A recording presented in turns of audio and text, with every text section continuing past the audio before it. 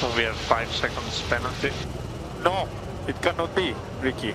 Do I deserve to be out of the points? No. No, Yeah. it's unacceptable. Tell them it is unacceptable. They need to wait until the race is finished and discuss with me. Copy. No, please, ask them, please, please, please, please, to wait, to wait and discuss with me. They clearly the penalty is not deserved. It's too severe. Please, guys, do something, please. I cannot still believe it. We are P3 and P4, and they will put me out of the points for that, for a la- one lap incident. So unfair. I cannot believe they do this to me. It, it's clear, Carlos. It's clear. Let's uh, let's let's finish that race and, and we discuss here. But uh, let me at least discuss with the stewards in the stewards room. Of course, we'll go and see them just after you get out of the car.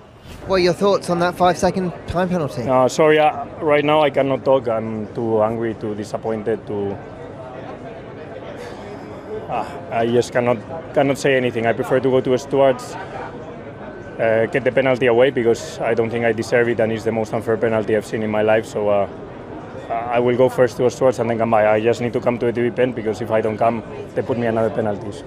Up until that point, though, Sorry, I, I prefer not to talk. I'll come back later after going to stewards. Okay.